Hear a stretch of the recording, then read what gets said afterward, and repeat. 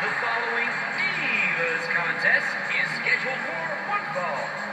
Making her way to the ring, accompanied by Santa Great from Charlotte, North Carolina. One half of the Hardcore